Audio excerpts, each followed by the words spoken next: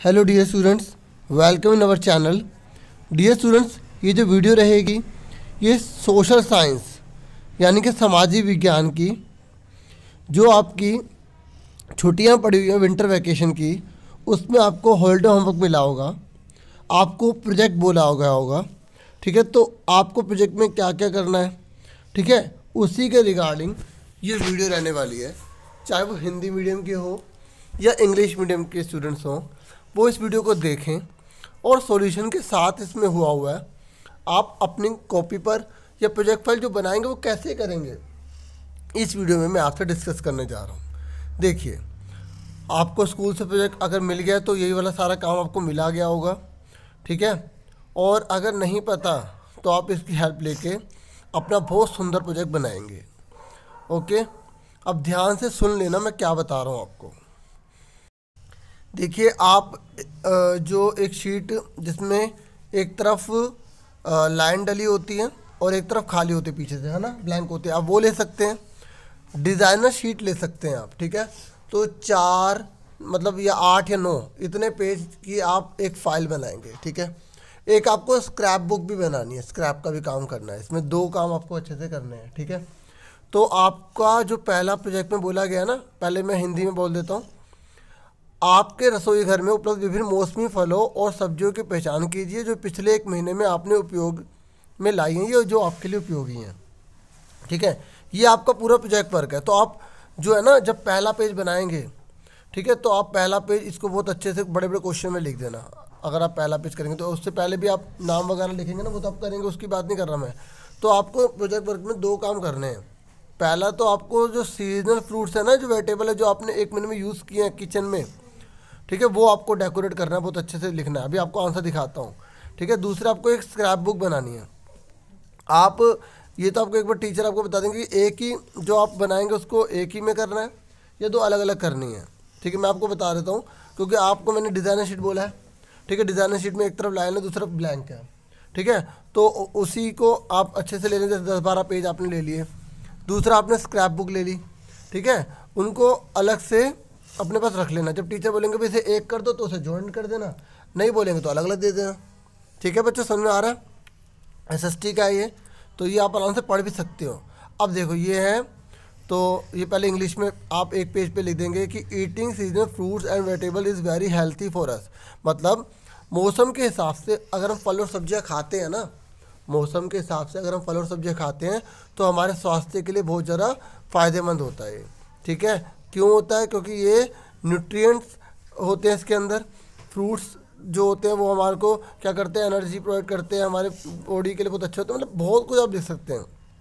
या थोड़ा बहुत जो लिखा है, आप इसमें आराम से पढ़ सकते हैं। इसमें पोषक तत्व होते हैं। जिस मौसम के हिसाब से हमें पोषक तत्व जो चाहिए होते हैं, वो हमें उस फल में मिल जाते हैं। ठीक है? उसके बाद आप यहाँ हेडिंग डालना बहुत सुंदर सुंदर बढ़िया बढ़िया तरीके से।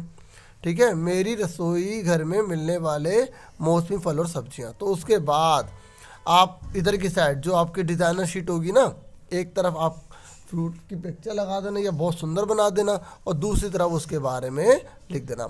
आप हिंदी इंग्लिश दोनों में भी लिखना चाहे लिख सकते हैं, ठीक है? बाकी जो हिंदी मीडियम वाले, वो हिंदी में, इंग्लिश मीडियम वाले, इंग्लिश में। आराम से देखो, ठीक है? बहुत ही अच्छे से करना है और इतना सुंदर करना है क्योंकि आपके इसी के बेस पर मार्क्स लगेंगे, ठीक है?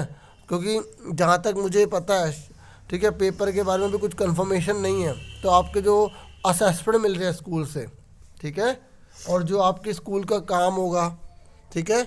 और ये जो प्रोजेक्ट वर्क है, इसके बेस पर आपको नंबर मिलेंगे, ठीक है? और अगर पेपर वगैरह होते हैं या कुछ होता है तो उसके बारे में जैसे आपको जानते हो, हमेशा अपडेट करता रहता हूँ आपको। ये आराम से देखते भी जाना मैं आपसे बातें भी कर रहा हूँ। ठीक है? और वीडियो को रोक के आराम से एक एक कर लेना। इससे अच्छा लिखना है, इससे अच्छी पिक्चर बनानी है तो आप कर सकते हैं। और ये साइट है, यहीं से मैंने ये लिया हुआ है, ठीक है? आप आराम से देख सकते हैं। ठीक है बच्चों? और ये फ्रूट्स हो गए, देखो ये मौसम के हिसाब से। सारे के सारे यहाँ पे मेंशन किए गए हैं। उनके फ़ायदे बताए गए। मैं फ़ायदे वगैरह पढ़ नहीं रहा हूँ। जैसे यहाँ पे केला बहुत ही हेल्दी फल है, ठीक है? इसे पहुँचाने में आसानी होती है और पूरे साल बाज़ार में आसानी से मिल जाता है। मतलब ये तो पूरे साल ही मिलता है। ठीक है? Banana is very healthy fruit it is easy to digest and found easily in market all year अच्छा बच्चे, एक बात और। चैनल को सब्सक्राइब ज़रूर कर लेना। बेल आइकन को दबा लेना, क्योंकि अगर कोई वीडियो बनाता हो तो आपको बस आ जाएगी, मिल जाएगी आपको। ठीक है? पपीता पेट के लिए बहुत फ़ायदेमंद होता है। ये फल सभी लोगों को पसंद आते हैं। ठीक है? इस तरीके से आप कुछ भी अच्छा अच्छा देखो, कितने अच्छे से ये देख रहे हो डिज़ाइन बना हुआ तो डिज़ाइनर शीट पे बनाओगे तो ज़्यादा अच्छा रहेगा। ठीक है? ठीक है? तो ये देखो, गाजर गाजर, प्यारी प्यारी गाजर हो गई। उसके बाद आ गई शलजम प्यारी आ गई, ठीक है? तो आराम से अच्छा अच्छा करना, और आप इसको डेकोरेट कर सकते हो तो डेकोरेट करना, ठीक है? पिक्चर अच्छी लगानी साइड में, ठीक है? और आराम से बनाना बच्चों और और भी इसके बारे में अगर आपको फ़ायदे पता हैं तो आप इसके और भी फ़ायदे बता देना। ठीक है? जैसे यहाँ पे मैंने पालक के बारे में बताया कि पालक की पत्तियाँ विश्व की सबसे स्वास्थ्यवर्धक सब्जियों में से एक है।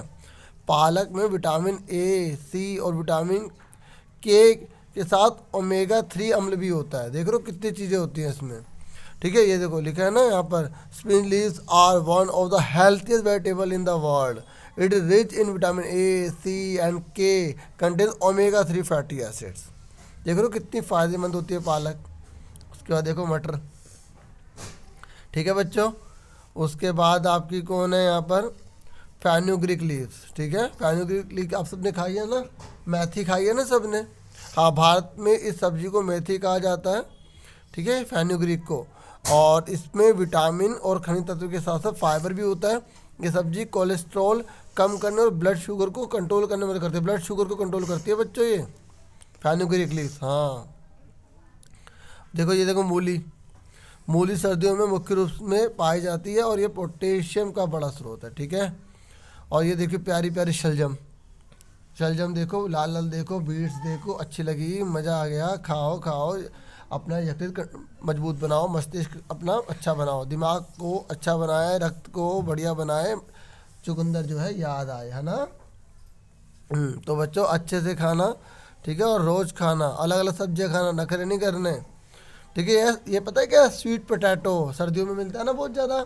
हाँ आपको पता है बच्चों केवल एक शकरकंद एक दिन में 400 परसेंट विटामिन प्रदान करता है 400 परसेंट। और पता है बच्चों आँखों के लिए इतना अच्छा है। तो आज ज़रूर खा लेना, अगर मिलेगा तो। ठीक है? मतलब मार्केट में प्रतिरोधक क्षमता बढ़ाता है। ठीक है? प्रतिरोधक। डिशुम डिशुम डिशुम। आपकी बॉडी को ताकत देता है, एनर्जी देता है। ठीक है? बीमारी से लड़ने में मदद करता है। तो बच्चे, ये हो गया। आप और लिखना चाहें और लिख सकते हैं। अब उसके बाद आपको स्क्रैप बुक बनानी है। ठीक है? स्क्रैप बुक में आपको बोला गया है फ्लावर्स और लीव्स का आपको यूज़ करना है। ठीक है?